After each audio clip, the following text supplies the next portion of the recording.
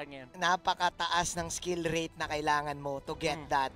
And especially na nasa pro scene tayo, binanggit nga ni Wolf. Well, let's see. NXP EVOS. Gusto nila mag-reset ngayon. Pero kagaya na nga ng binanggit ni Wolf, ganun pa din, Wolf. Ganun pa din. Sila yung nagban ng Benedict. Estes, uh, no, uh, I mean, Estes ban, tapos sila yung nagban ng Benedetta. So, are they getting ready? Nire-ready ba nila ngayon yung mga barats nila? Yeah. Ako gusto, alam mo kung ano gusto ko talaga makita? Yawi setups eh. Ah, Kufra maybe? Ah, Atlas maybe? Or maybe, Haze, special carry mid lane. Mm. Pwede. Who knows? Who knows? Pero ang gusto ko dito ay ah, nakangiti pa rin ang NXP. Mukhang may nakaplano pa rin sa kanila. Totoo. Joed and Matilda Ban ah, mula sa Blacklist International na-open yung Pakito. Pero ang NXP, pag kinuha nila yung Pakito, Matic, Barat sa kukunin na Black. But, S... Esmeralda priority pick. Favorite Okay. ni James to actually. Isa sa mga heroes na kabisado niya yung galaw. But this time, parang ang daming open sa blacklist, pare. Butters. Ako, nakikita ko nga may Phobius pang pwede sila kunin. Phobius pero eh, at the no? same time, andyan na rin yung Esmeralda, so medyo iiwasan mo na rin yun. Four views. Oo. Yeah, I And uh, Popolan, pa- Popolan Kupa is banned out, definitely. Pakito Lunox siguro para sa Blacklist International. Pakito is uh, a strong hero, especially doon sa shadow boxing buffs. Oo. There you go. Priority. Alam mo, Pakito Rafa. tinawag na rin one time si Edward na Edward Pacquiao. Si Edward Pacquiao. Dahil sa tama. Pakito pick na to. Tama, tama. Mm-mm. Dalawa, dalawa yung at. Dalawa yung naging Pacquiao sa MPL. Ay, eh. oh, si Renjo si Pacquiao. Rencho Pacquiao at Edward Pacquiao. Ah. NXP, what will be your answer? Maybe steal the Barats sa ngayon para makontra sila or get the Ruby? Pwede no, Ruby? Kailangan nilang setup eh. Kasi ako, para sa akin, NXP, team fight talaga eh. May ano talaga may hulog talaga yung outplays nila eh. Doon ka magugulat yung explosiveness ng outplays ng NXP. Pero mukhang wala sa sinabi mo, Wolf ah. Yeah. We'll see. Um, Blacklist International, ang may chance pa rin na kunin nila yung Alice sa ngayon. Pa rin. Or nakaw alis. Ah, NXP. Kaso Alice, Esmeralda sila parang ah, Passive. ma- masyadong farm dependent, I would say. And yung side, natry na natin yan dati, di ba? Yung parang Esmeralda Uranus yung Oo, ginamit Esmeralda. natin. Talo tayo. Uy, ninakaw nat- nga! natalo tayo, Oh, pero... Predictions are real, bro. Predictions are real. Pero, Pe- Pero kasi NXP to eh. Hindi naman tayo yung NXP eh. pero alam Oo mo, nga et- et- oh, hindi naman tayo NXP, pero kasi yung, tama yung sinabi ni Wolf doon eh, na medyo magiging passive yung early stages of the game nila. Kasi itong dalawang heroes na to talagang nag-scale up to eh. Oo. Yun, so tuloy, tuloy, tuloy pa rin ang Pakito Lunox ng Blacklist International. Pinagitnaan lang ng Rafaela. But yeah, Lunox makes sense kasi ito yung pang burst mo sa Esmeralda Correct. na medyo tumatagos dun sa armor. At least na mababurst down nga yung Esmeralda before the sustain. And that's also true with the uh, Alice. Kaya nga naman maganda tong Lunox pick na to mula sa Blacklist International kasi dalawa agad yung natutuhog niya. Yeah. Uh, the, the true uh, the percent damage from the chaos assault Yes. ang magiging dilemma ng NXP.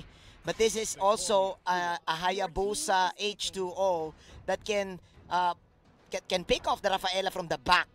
So, uh, going back to our point earlier, bakit nga ba nasasabing parang passive ang Esmeralda uh, Alice combo Butters? Kasi parang yung pagiging aggressive nito, tama ba, hindi mo na agad mararamdaman at level 1? In a, para sa akin kasi, kung titignan mo lang siya in a simple explanation, itong dalawang heroes na to, kailangan nila ng certain amount of items. Sabihin natin, two items to be actually uh, ah. Sabihin natin na Mm. pwede mo siyang gamitin sa team fight. And at the same time, si Alice din, may extra condition kasi siya.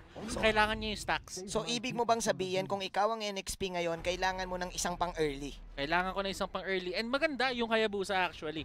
Kasi si Hayabusa at level 4, may kill potential na agad siya.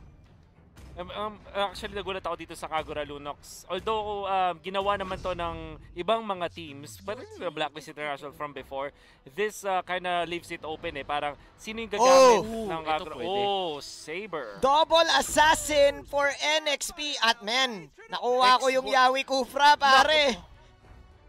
Pero at the same time, ah, ito yung ano ah, Ay, isa sa yun mga lang. nausong combo to, the Rafa X word combo. Anong tawag dyan? Rafa X. Ewan Gawan ko. mo, gawan mo. X. Rapa board. Rapa board. Rafa X. Borg Paela. X pa Ela. Mamaya na. Oh, mamaya Basta na, mamaya na mamaya lang. mamaya Pero, na lang. Borgela. Nagag- Borgela. Borgela! Yeah, yeah, yan. Pwede, pwede. Borgela. Yeah, okay, okay. So, Borgela, ibig sabihin, Firaga Armor plus the Holy Blessing. Yeah. Ang ibig mo bang sabihin, ang hirap patumbahin pa rin? Ang hirap pa tumay, Ang ang hirap, ang, ah, sobrang bilis niya habang nagwawalis siya ng farm ang hirap niyang habulin. Same time, sobrang bilis ng tempo niya sa pag-take ng objectives. Ang siguro kulang lang dito mala side ng Blacklist International is yung ang hard ah, turret hitter, yung talagang literal na magpapatumba doon sa tore. But we'll see. Now, ito yung benefit. Having Haji. Pwede siyang kumuha ngayon ng Kagura bilang mid laner and then Oh My Venus can just go back as the roamer. So para silang paalitan. Pwede sila mag-switch, Charo. Wait, Charu. Eh, tatandaan mo. Flexi ever- talaga, Flexi boy. talaga and ever since the world began for Oh. MPL. Season 2 pumasok kasi si Haji, syempre. Oo. ba? Noong mga panahon na yun, yung mga mid laner, yung mga may retribution, mga mage din eh. Oo. Kaya So, alam ni. Haji. Pwede nga din gamitin ni Wise yan kung gugustuhin niya. eh. Well, alam nyo, nag-switch Charo si Haji at si Venus ha. Pero, in terms of hero, isa sa mga nag-switch Charo sa side ng NXP, Haze Saver. Yeli Haze Saver, ladies and gentlemen. Yup. Can, ah, ang pagka, sa pagkakaalala ko, Saver ang pinaka-counter sa mga mage kasi one hit delete. Mhm. Aabot pa tayo doon sa puntong yon. Pwede nating makitignan yon and yun yung isa sa mga katangian ni Saber na talagang hinahanap ng tao eh. Yung kaya niyang mag-burst down ng kahit sinong tao given the fact na may item siya. Correct. But at the same time, kinuha nila yung Saber as a, sabihin na lang natin preparation para dun sa possible marksman pick. Pero sabi dito ng blacklist, hindi naman namin kailangan talaga totally mag-marksman eh. Wala. Pwede kaming kumuha dito ng X-Borg which is actually Saber proof kasi pag may Firaga armor, hindi niya kailangan isipin yung triple sweep. Ang alam ko, ang, Tumbling lang siya. Oh, alam ko Wolf na uso ang X-Borg talaga na jungle and now we're, we're seeing it through damage, tama ba? Because of the flamethrower. Yep, uh, most importantly, objectives ang kailangan yung control. Map control overall ang hinahanap mo sa sa isang uh, X-Borg. And uh, kapag ikaw ay jungle X-Borg, ang pinaka-highest damaging skill mo actually is yung fire missiles. The first skill na po si Yeli oh Hayes. my. The problem with the Saber, kailangan niyang mang burst down at pag merong Rafaela, yan ang pang, uh, pangsagot kumbaga. Ma- mababagalan, babagal yung X-Borg after the Holy Retribution and nakite si Yeli Hayes sa gitna ni Oh My Venus and Haji. Yahweh thanking Oh My Venus. Ito na yung shadow kill pero bitin! Yung naging output ni H2O, sabay umikot na si Bumblebee o, ni Wise. Walang magkakapatumbahan. Blacklist International kakapit doon sa gitna. And, uh, the, the good thing about that for NXP is that pwede silang mag-transition ngayon into the Turtle kasi napauwi nga nila yung Blacklist International but instead, uh, hindi muna sila doon papwesto. And now, uh, Blacklist International, they, uh, napaka-threatening, napakalaking threat nung kanilang pag-take ng, uh, ng Turtle. So I wonder how uh, NXP will uh, answer that. Now, looking at how NXP uh, moves on the map, napapansin mo kahit si James dito naghahanap na rin siya ng ways para manakaw yung purple buff Yeah. dito ni Wise. And Yeah. alam nila You know? ngayon na sabihin na natin mas maganda yung pwesto ng Blacklist International kasi sila na ngayon ay nauna. Pe- Pero pwede kasi mag-retake ang NXP dito with the Ah. Hayabusa. Ang hirap dahil walang retry na naman pero kukuha dito ng isang NXP. That is going to be Oh My Venus. Yelly Hayes also falling down. One for one. Pero nakukuha ni Wise ang lahat ng gusto niya. Level 5 as of the moment with the turtle buff at may libre pang lito. Oh my. Kung mapapansin mo dito, mas maganda sa single target, ah, sa single sa single heroes na i-burst down yung mga ginagamit dito ng NXP. Yeah. So for for the early stages of the game, kung papansinin mo, meron kang Hayabusa, Correct. which is yung ah, shadow kill. Yeah. Yung triple sweep dito ni Ellie Hayes. Pero kung iisipin mo, pareho yan na ayaw mong gamitin kay Wise eh. Kasi sa totoo lang, pagka yung X-Borg may Firaga armor, parang ang hirap niya din i-dive. Correct. Parang hindi din worth it na Yeah. gawin mo siya. Lalo na na may immortality ka kagad. Mhm. So, Wolf, sino ba? Sino ba dapat targetin dito ng NXP? Uh, well, Lunox for sure. Wag nilang hayaan makapag-farm si OF just like in the previous game. Watch out din sila doon kay Haji. Pero uh, you have to take note, meron kasing second skill. Yung pagbalik, pag-retract nung uh, payong dito ni uh, Haji, Yeah. uh, meron yung anti-crowd control. So, kailangan niyang bilangin. Although, I don't think na si Eli Hayes ay isang player na, madal na magkakamali anytime soon Sa target, sa no? pag-target. So, yeah. Yep. Well, kung iisipin mo, sa mga nagaganap dito sa gitna, kahit na nakakapag-farm si ah, ah, yung top lane na si Ohel, Hesa, Clock of Destiny na rin naman. Mm. And maganda rin yung nagiging farm ni Hesa sa top lane, especially na Alice to. So with this passive type ng side lanes, eh parang nagiging pabor pa din sa side ng NXP. Di ba? Oh, Oh. okay. Set up para kay Yahweh. Counter go para kay Oh My Venus sa kanyang ultimate. Pero yon yung pagbalik ni Haji using the Yin Yang overturn. 1, 2, 3. Hieli Hayes again. Falling down. Even if nagkaroon na ng isang magandang play doon sa side ng NXP si Yawi, hindi si, hindi handa yung pwesto nila at that certain moment. So hindi rin nila na-convert yon into two kills. Kung nakuha sana nila yon, malamang sa kanila yung turtle na to, but this time around it's still blacklist Yep. and sila pa rin ang maghahari dun sa turtle pit. Definitely, um, sa, just the lineup pa, kung compare lang natin yung dalawang lineup, pagbabanggain lang natin, lugi talaga ang blacklist, ah sorry, ang NXP sa pag-take ng mga objectives. Yun nga eh. Honestly, if you're NXP, talagang late game yung kailangan mong i- i-hedge dito. Kasi may Esmeralda at um, at uh, Alice naman Alice, sila. insurance talaga. Oo.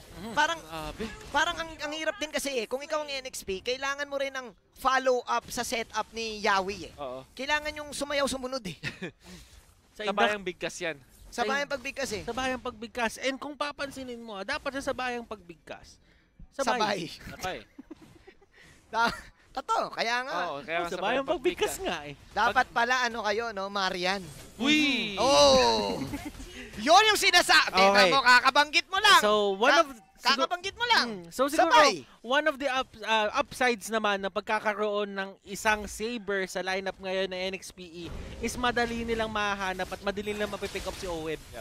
Yeah, uh, ma- ma- mapipersa si Oheb kasi na gamiting pang depensa yung order bill yan. So sabi ni Yeli Hayes, kanina nyo pa ako tina-target ah.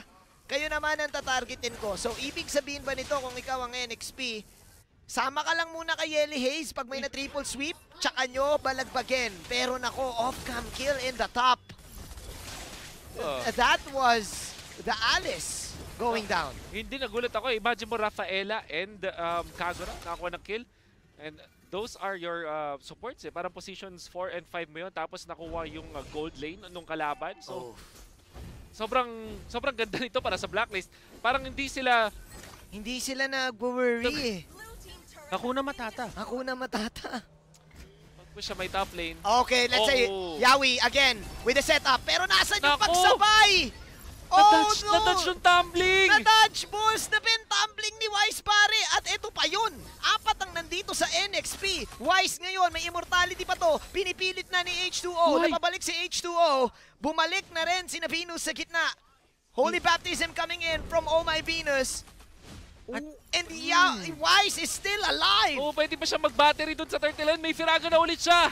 Grabe yung Firaga armor at tinapatan na ni Edward mismo si Yawi. Hindi na pinatalon. Oh. Sinapak na at tinipian pa. Blacklist International still owning this game. 2K gold lead. NXP na ngayon. Na, na, NXP ang nahihirapan, Wolf and Butters.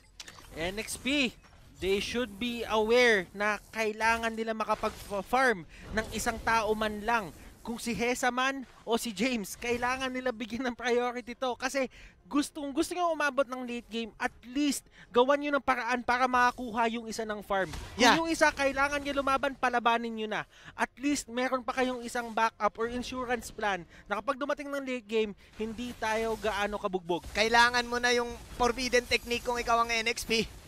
Kailangan mo na yung forbidden. Ano yung forbidden Ano yung forbidden That technique? is Pogi Tiis Pogi. Tama. Kung ikaw ang NXP at gusto mong kumambak, titiisin mo na lang to. Kagaya ng Oo. binanggit mo, Butters, hintay na lang ng late game. Kasi ang problema, apat na kayo nandun, ni hindi man lang nag-pop yung immortality ni Wise. That's the X4 Grafa. Super duper sustain at napakahirap siyang niyang kontrahin kasi hindi naman talaga shields yung nakukuha mo. So Esmeralda hindi ganun ka-effective. Siyempre, yung life steal hindi rin eh kasi namumulat lang ng battery si Wise at hindi mo mapipigilan ng anti-heal yun. Oh my. Mm. And tinatangki na lang lahat ni Edward and ni Wise yung mga flowing blood ni Hesa. At this point, naniniwala ako, Manjin, Wolf, na itong Uy, na to, isa ah. sa mga pinaka-best picks na magagawa nyo at this certain Oh! moment. Oh! Tatlong yaka para kay Yawi dito. Ito na ba yung follow-up na hinahanap na side ng NXP? Pero yun yung counter go ng Blacklist International. Yawi, Oh. sayang yung setup dahil naka-ready doon yung Blacklist. But they were able to defend yung kanilang turret sa may mid. So, Pero yung baba, Wolf. Dun lang talaga. Nakita natin yung Rafaela, daming natutulungan dito kasi pwede niyang pabilisin din si Edward. Nakita mo yung pakito, parang ah, ultra fast eh. Ultraman. Ultraman eh. Ultra, alam mo, but at the same time, kung na-defend nila yung mid, you take what you can. Kung ikaw yung NXPE ngayon, kung Mhm. hindi man kayo manalo dun sa team fight na yun, at least na-depensahan nyo. Yeah. Kunin nyo kung ano yung kaya nyong kunin. Yeah. Kasi wala Oo, nang libre na. ngayon sa panahon na Wala ginagawa na. ng blacklist. Tiis pogi talaga pare. Tinitiis na ngayon ni James. Triple sweep para kay Yelly Hayes, para kay Oh My Venus. But Oh My Venus lumalaban sa isang saver. Killing spree si Edward. Eto na nga. Left jab, right jab. Oh my glove. Edward Pacquiao is back. Oh, Save again. Pero Haji with the pre-purify na meron, of course. Ang Lucio Umbrella Flea. Pero dalawa na patay ngayon sa side ng Blacklist. Ito naman pagbawi ng NXP. Pero may suntok pa rin. Suntok! Para sa suntok! Sabi dito ni Edward, hindi pa rin makakuha ang NXP. Blacklist sa wakas makukuha itong gitna. Okay. Kailangan mag-rely dito ng NXPE E dun sa playmaking capability na meron si Yawi. If ever man makahanap pa siya ng isang 2-man o 3-man Tyrant's Revenge, feeling ko as long as nasa tamang pwesto sila lahat, kaya nila mag-burst down. Oo. Madami silang pang team fight eh. Oh! Clutch time! H2O with the retribution! But the question is, sapat ba yun? Sapat ba yun? Pumikit na lang si H2O getting that Lord Steel.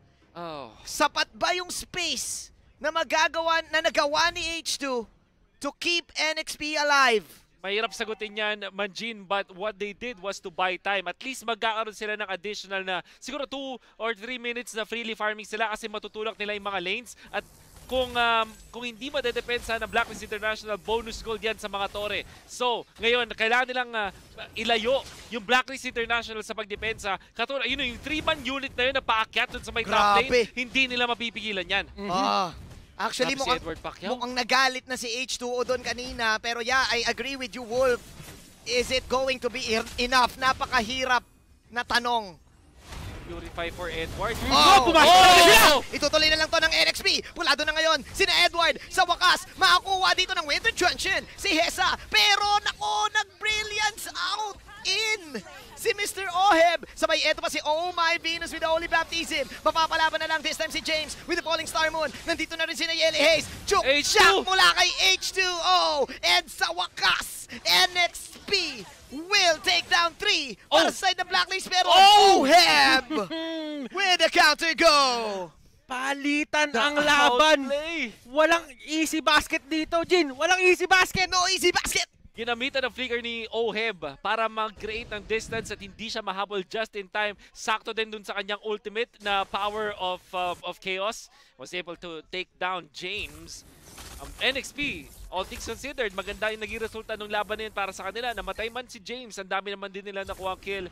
Particularly for H2 na 2-0 and 1 na ngayon. Oo. Pero ang pinakamayaman para sa kanila is Hesa. And that's what they need. Ang ganda ng Winter Truncheon play. Confidence play under the turret.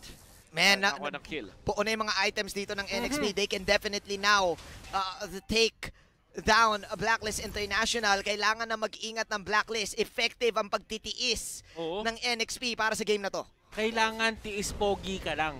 Tiis pogi talaga. Never ka dapat magpapakita ng sakit. Never ka dapat magpapakita ng aray. Kahit sobrang init na. Kahit Sobrang, sobrang, init, na. Maglo-long sleeves ka pa rin. Oo. Oo. Naka ano ka pa rin ngayon, iba na ngayon eh. Naka hoodie ka tapos naka ano ka, trap Tapos summer. ka pa rin. Oo. Yung ano, ano tech wear ka pa rin. Techwear ka pa rin at ipupush mo pa rin yung TikTok sa gitna ng Ay, yun. kalsada basta pogi. Kilala ko yun. eh. Napapagitna natin yun, Oo, wag, wag mong sabihin sikreto niya. Wag mong sabihin sikreto niya. Pero ganun yung ginagawa ngayon ng NXP. uh, finding ways. Ni- Laban lang eh. Yeah. Literal eh.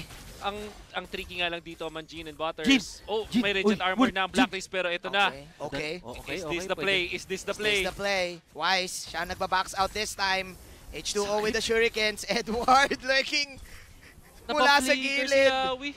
Napapabak ngayon ng NXP. Naghabol ang Blacklist International. Hesa will just clear the lanes. Ambahan mula sa dalawang kupunan. Radiant Armor is available kay Wise. So, pwede na siyang yung pinakamaging tanke dito. Although siya yung jungler, dahil naman sa nature ng export, kaya niyang sustain sarili niya tapos kaya pa niya mag, uh, mag-return din ng, ng damage. Kaya eh.